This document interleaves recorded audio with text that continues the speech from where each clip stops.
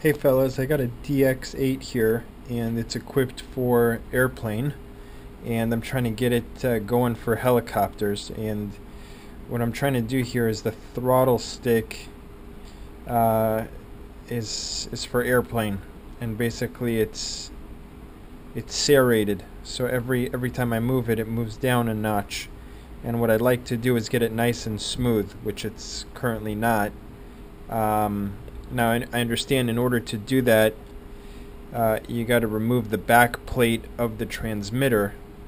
and I had a difficult time doing so. I removed a total of uh, five screws, which was one, two, three, four, and the antenna, which is five. I understand that there might be uh, two or four other screws that may be behind these grips here. I'm unsure but if someone could explain to me where and if there are any remaining screws that need to be removed aside from the one, two, three, four, five that I pointed out, um,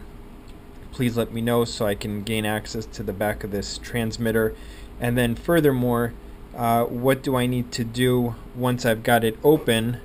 to get my throttle nice and smooth for helicopter flight as opposed to what it's at now for airplane flight. And then uh, any other suggestions of what I need to do while I have it open. Alright, thanks.